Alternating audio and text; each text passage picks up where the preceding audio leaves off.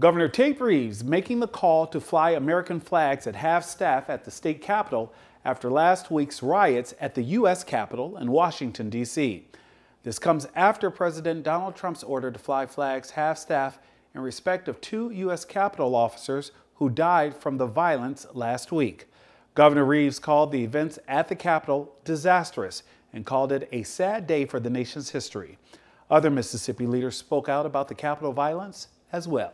I am uh, confident in our law enforcement agencies, uh, the Capitol Police, Jackson Police Department, as well as the Mississippi Highway Patrol. Uh, I'm more so concerned about the staff that works here and those individuals that may not be able to defend for themselves.